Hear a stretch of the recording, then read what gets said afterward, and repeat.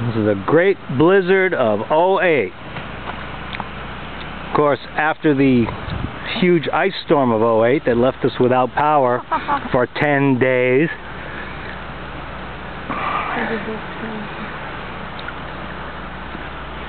and we are still without power. But Maria is still upbeat and optimistic that we will have our power soon. Look at all that snow.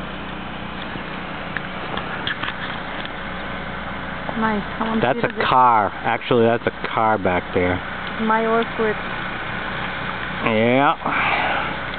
My, I tell my daughter today I take a video and I send to her. Hey Cássia!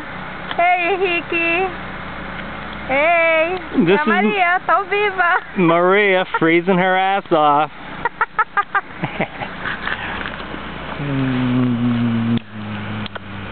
Mm, Yummy.